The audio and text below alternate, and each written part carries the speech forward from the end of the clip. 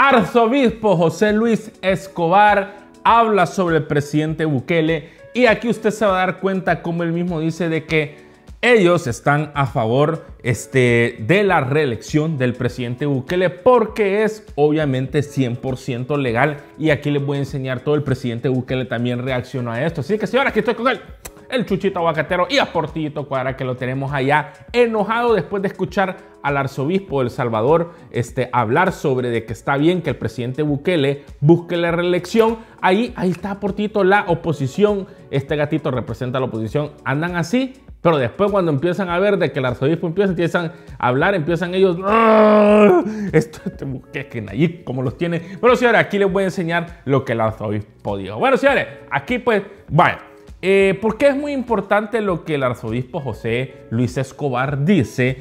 ¿O por qué se le escucha mucho? Y aquí les voy a enseñar hasta la noticia. Mira, la noticia hasta salió en el Vaticano. Mire, no, le miento, señores. Hasta en el Vaticano salió la noticia. Que ustedes la pueden ver el Salvador, los obispos aplauden la decisión del gobierno. ¿ok? Esto viene del Vatican News. Ustedes lo están viendo ahí, Vatican, de, las noticias del Vaticano. No le digo, de, Roma, están ahí de acuerdo eh, con lo que está haciendo el presidente Bukele. Bueno, ¿por qué es importante? Tal vez muchos ya saben esto, pero ¿por qué es importante de que la iglesia se pronuncie en este tipo de, este, de casos políticos? no es la primera vez y usted, yo creo que los que somos salvadoreños tenemos esto muy muy bien presente y es el caso de Monseñor Romero que ustedes conocen. Ese caso para los que no son salvadoreños, pues Monseñor Romero vino siendo aquel que en medio de la guerra estaba en total desacuerdo de la guerra y en medio de la guerra él daba prédicas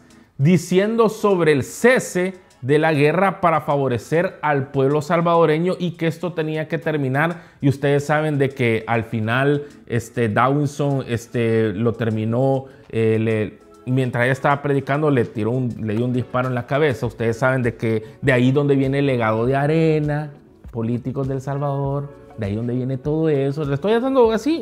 No, no le estoy dando toda la historia completa. Eh, eh, eso está en YouTube, ¿me entiendes? Pero pues, más o menos para los que no son salvadoreños entiendan. Y pues ustedes saben que Monseñor Romero fue aquel que trajo esperanza y él era el arzobispo de El Salvador. Este, eh, trajo la esperanza, trajo una esperanza en medio de la guerra, ¿ok? Entonces, bueno, casi a los principios de la guerra, este, del conflicto armado y pues después de eso se formó toda la guerra y pues Monseñor trató lo más, lo más posible de traer paz y pues cuando estaba a punto de lograrlo, vienen aquellos y ¡pum! ¿Ok? Entonces, eh, desde ese entonces los salvadoreños hemos estado bien familiarizados con la iglesia, especialmente la iglesia romana, también la iglesia evangélica.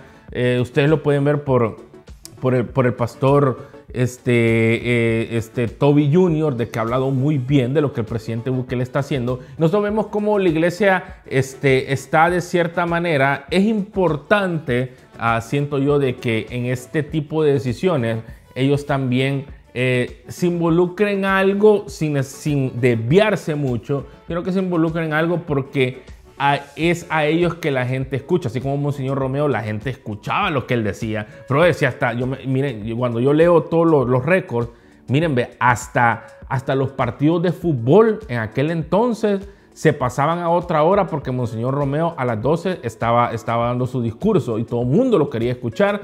Eh, eh, Así, así era este, la influencia que tenía este, la, iglesia sobre, sobre estos temas. Entonces, aquí es importante de que la iglesia de cierta manera salga a decir, ¿por qué? Porque tenemos los derechos humanos que están... Usted puede opinar algo diferente, ¿no? está bien, usted puede opinar diferente a mí. Yo solo estoy diciendo de la manera como yo lo, yo lo, miro. Este, ustedes saben que los derechos humanos saltaron en contra del presidente Bukele. Este, hay presidentes que hasta firmaron un papel diciendo de que están en contra de la reelección del presidente Bukele. O sea, toda esa onda. Pero que ustedes van a ver aquí como este monseñor lo dice. Usted se va a dar cuenta cómo de cierta manera él mismo dice de que está bien, es 100% legal y que el pueblo lo quiere. Y que él legalmente se puede volver a reelegir. Mírenlo aquí. El anuncio que el señor presidente hizo que iba a participar en la siguiente contienda política como candidato a la presidencia. Me parece que esta es una petición de que en repetidas veces el pueblo ha hecho, que de una forma o de otra le han pedido que se, que se relija. Y, y cuando ustedes, los medios o alguna otra organización ha hecho consultas populares, o sea, eh, encuestas, ha salido que un alto número de la población quiere que sea reelegido. Esto es inédito, nunca lo habíamos tenido. En los 200 años que llevamos de república, y ahora ellos tienen esperanzas que este gobierno sí les va a cumplir, o les está cumpliendo. Y, bueno, pareciera que el pueblo se ha defraudado y que y que ahora ve una luz en el camino. El hecho es que, que el pueblo quiere que el presidente se reelija y lo han expresado y también después del anuncio que él hace. Eh, por otra parte, ya la Corte también ha dictado una sentencia sobre el tema, interpretando la Constitución de forma que se puede elegir. Inmediatamente el Tribunal Supremo eh, de Elecciones dijo que cumpliría la sentencia, que de por sí es una sentencia, entiendo, de obligatorio cumplimiento. Entonces, entonces ya la discusión siempre puede hacerse, como no, y es bueno que se haga, pero me parece que las cosas están dadas. Queda, sin embargo, el escrutinio último, o sea, será el pueblo el que diga si se reelige o no, eh, porque él participará como candidato. Pero el pueblo está sin duda con mucha esperanza, con mucha esperanza. Como vuelvo y le repito, esto es importante. Yo sé que muchos van a estar, ¿para qué la iglesia se mete en todo esto? Esto es importante, señores, porque la, este, aunque sea católica o sea lo que sea evangélica, la iglesia este, eh, o los representantes de ellos tienen un alcance y también representan al pueblo. O sea, ellos también son líderes en sus ministros. Ellos miran desde arriba todo lo que está pasando. O sea, no hay mejor persona que un pastor o un arzobispo que mire lo que está pasando porque ellos miran la realidad, ellos van a las cárceles. O sea, los mejores que pueden ver lo que está pasando en El Salvador porque es su trabajo ver y velar por la gente son pastores y arzobispos de la iglesia católica, también de la iglesia cristiana, este, pastores más que todo, eh, y líderes. Entonces, eso es bueno.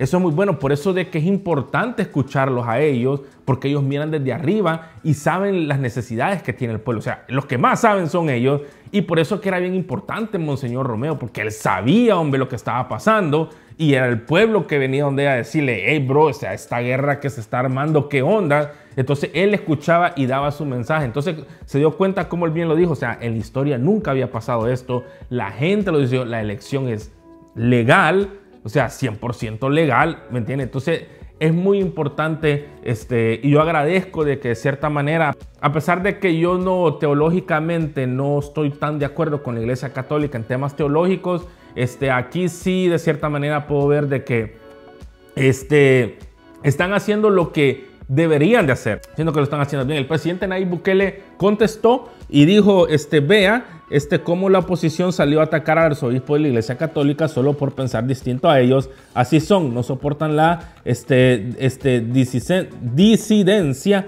no la este, cancelan este, porque no les está este, en el poder. Dice, la única dictadura que hay en El Salvador es la que quieren regresar ellos aquí. Bien el presidente Bukele, los únicos que, que, que, que están locos por regresar en la oposición o sea, no quieren ver al, Salvador moverse, moverse eh, superarse. Lo que ellos quieren es regresar, volver a esas dictaduras locas que teníamos nosotros.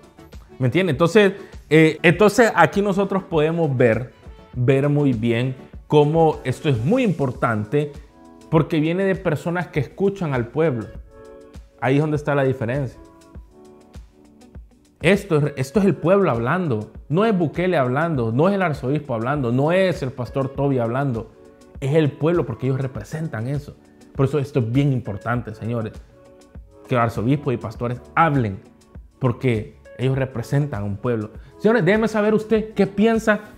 Yo la verdad es que aquí nos damos cuenta que, señores, estamos haciendo las cosas bien, hombre. Estamos haciendo las cosas bien en El Salvador y la reelección es 100% legal y el presidente Bukele tiene que estar un segundo término, no un tercero, uno y segundo, ya está ahí. ¿Ok? Está ahí. Entonces, señores, déjenme saber usted qué piensa. Gracias por haber visto este video. Recuerden una cosa, señores, de que Cristo el Señor está esperando que tú vengas a recibir, Señor, y aquí el chuchito, el chuchito aguacate. Salud.